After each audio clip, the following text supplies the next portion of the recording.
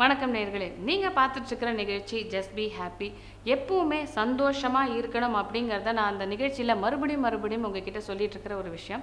ஏன்னா சந்தோஷமாக இருக்கிறதா நம்மளோட இயல்பு நிலை. அந்த நிலையை மாற்றாமல் நம்மளோட வாழ்க்கையை நல்லா எடுத்துகிட்டு போகிறதுக்கு வாழ்க்கை திறன் முக்கியமானது. இதை பற்றி நம்மளோட லைஃப் ஸ்கில்ஸ் ட்ரைனர் என்ன சொல்கிறாங்கன்னு பார்க்கலாம். இப்போது நமக்கு ஏதோ ஒரு பிரச்சனை இருக்கும்போது இல்லை நம்ம ஏதோ ஒரு தப்பு பண்ணியிருக்கோம் அதுக்கான ஒரு பிரதிபலன் வந்து நம்ம ஃபேஸ் பண்ணுறோம் இல்லை ஏதோ ஒரு அசம்பாவிதம் நடந்திருக்கு. அதை வந்து நம்ம அதனுடைய பாதிப்பு நமக்கு ரொம்ப அதிகமாக இருக்குது ஆர் நிறைய ஏதோ ஒரு பர்டிகுலர் ஒரு கவலை இல்லை ஒரு துக்கம். இது எல்லாத்துலேருந்தும் நம்ம இது நடக்கும்போதெல்லாம் நமக்கு அதுலேருந்து ஒரு தப்பிக்கணும் அப்படின்னு நினைப்போம். அதை தப்பிக்கணும் அப்படின்னு நினைக்கும்போது சில சமயம் சில பேர் அந்த நமக்கு தப்பிக்கணும்னா எப்படி அதை தப்பிக்கிறது? மறக்க முடியாது. ஏன்னா எப்படியும் நமக்கு அது திரும்ப திரும்ப அது நினைவுக்கு வருது. ஸோ அந்நேரத்துக்கு அதை பற்றி நினைக்காம இருக்கணும் அப்படின்னா அந்த ஒரு அவேர்னஸ் அப்படின்னு சொல்லுவோம். அந்த துக்கம் நமக்கு மனசில் வந்து பாதிக்கக்கூடாது. ஆர் அந்த துக்கமோ இல்லை அந்த கவலையோ இல்லை அந்த ஒரு அதில் ஒரு விஷயத்துலேருந்து தப்பிக்கணும்னு நினைக்கும் போது அந்த விழிப்புணர்வுன்னு சொல்லுவோம் ஆர் அவேர்னஸ்னு சொல்லலாம். அது இல்லாமல் போகும்போது அது நமக்கு பாதிக்காது. எண்ணம் வார்த்தை செயல். அத்தனையுமே ஒவ்வொரு எண்ணமும் வார்த்தையும் செயலும் விழிப்புணர்வோடு தான் நாம் சிந்திக்கணும் பேசணும் அந்த செயலை செய்யணும்னு சொல்லுவோம் ஒரு அன்மைண்ட்ஃபுல் ஆக்ட் இப்போது ஒரு நிறைய ஈவன் டேக் தட் ஒரு டெல்லி ரேப் கேஸ் இருந்தது. அதில் கூட தெர் வாஸ் பீப்புள் வந்து அதில் இன்வால்வ் ஆனவங்க தன்னங்களுடைய விழிப்புணர்வை இழந்துட்டு அந்த செயலில் ஈடுபட்டிருந்தாங்க. So I'm not it's not for justifying but இப்போ யோசிச்சு பாருங்க ஒரு கெட்ட விஷயம் அப்படின்னும் போது ஆர் ஒரு இன்னொருத்தரை ஹார்ம் பண்ணுற ஒரு விஷயமாக இருந்தால் ஒரு முறை முறைக்கு ஒரு ரெண்டு முறை நம்ம யோசிச்சோம்னா அப்போ என்ன ஆகிடும் அந்த செயலில் நாம் ஈடுபடாமல் கூட இருக்கலாம்.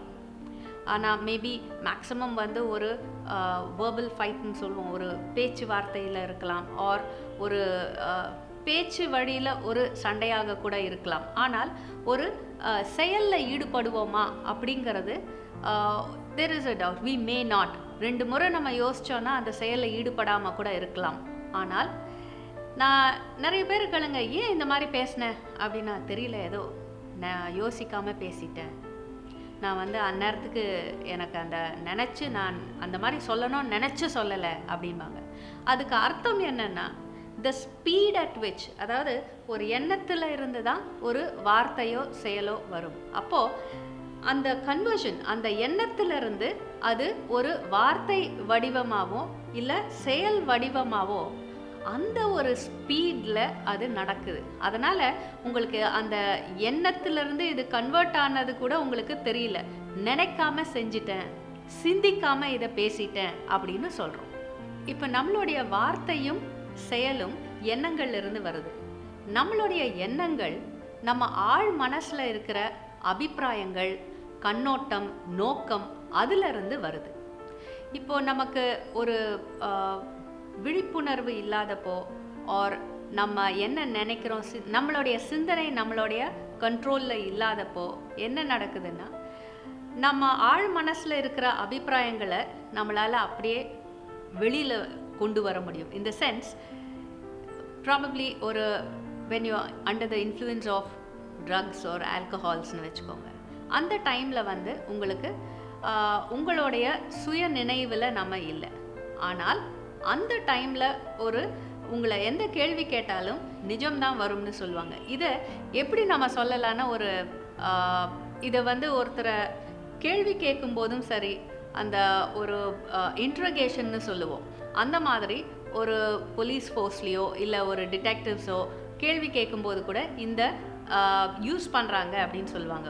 கேட்கும்போது ஒரு கான்ட்ரடிக்டரியாக இருக்கும். அப்படின்னா நம்ம சுயநினைவில் இல்லாதப்போ தான் நம்ம உண்மை பேசுவோமா? கிடையாது. இப்போ அந்த சுய நினைவு இல்லாதப்போ நீங்கள் உண்மை பேசினாலும் அது உங்களுக்கு தெரியாது. மற்றவங்களுக்கு மட்டும்தான் தெரியும்.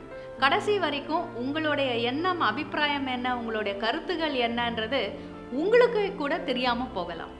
ஸோ இது ஏன் நம்ம சொல்கிறோன்னா நம்ம ஒரு விஷயத்தை சொல்லும்போதோ செய்யும்போதோ எதுவாக இருந்தாலும் நம்ம அதை சரியா தப்பா அப்படின்னு நினைக்கிற அளவு நமக்கு நிதானம் இருக்கணும். அந்த சுய உணர்வு இருக்கணும். சுய நினைவு இருக்கணும். அண்ட் இதை பேஸ் பண்ணி தான் நம்ம அந்த முடிவு எடுக்கணும்.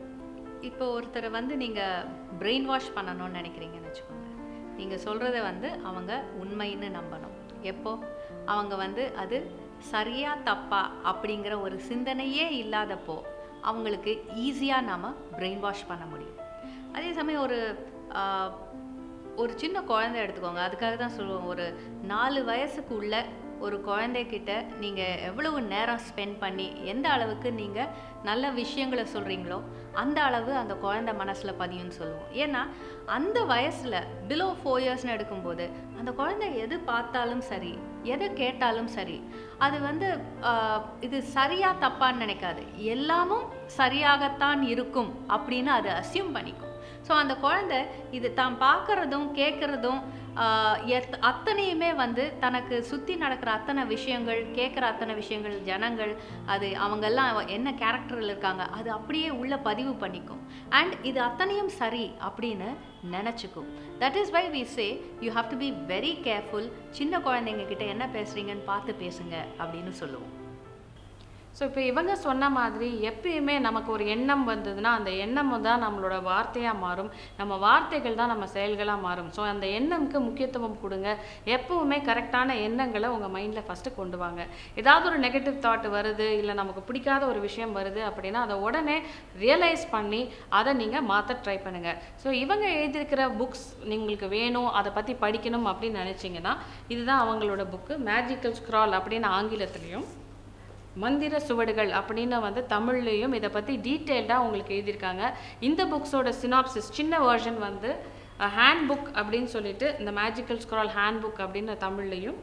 அதே மாதிரி மந்திர சுவடுகள் இந்த புக்கும் வந்து சின்ன வெர்ஷனும் அவைலபிளாக இருக்குது நீங்கள் இதை ரெண்டையும் வாங்கி படிக்கலாம். இல்லை இந்த ரெண்டு புக்ஸை வாங்கி டீட்டெயில்டாகவும் படிங்க. அண்ட் இதை பற்றி உங்களுக்கு அத்தனையுமே புரிய வரும்.